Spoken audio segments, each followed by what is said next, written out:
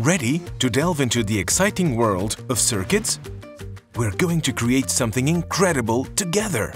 CirKids makes it easy to learn electronics and programming.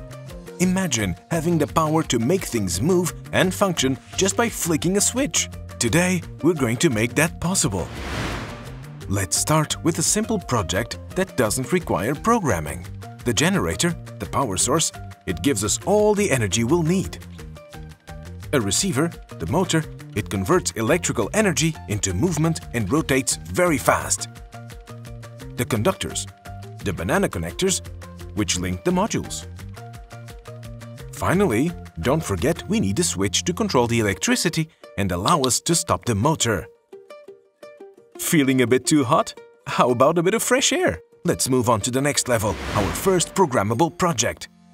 We're going to make the LED on the microcontroller flash every second. All we need are four blocks from Hello Blocks. 1. Connect your module to the USB cable. 2. Open Hello Blocks. 3. Configure the LED selecting the correct pin, D13 in this case.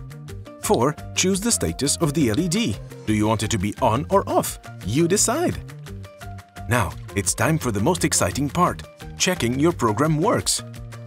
Connect the board, upload the code and… Voila! The heart of the microcontroller is now beating and your LED is flashing every second. There's a world of possibilities waiting for you. From programming the sound for each key on an interactive piano to designing a windmill. And that's not all. How about trying to build a barrier for a railway line? Yep, you'll be able to do that too. Remember, with CirKids, imagination is your most effective tool.